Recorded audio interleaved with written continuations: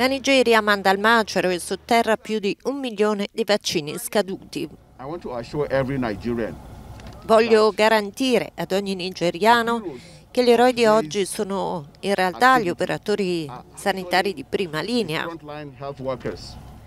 Quando questi vaccini ci sono stati offerti sapevamo che avevano una breve durata di conservazione, ma vivevamo in una situazione in cui la fornitura era molto scarsa.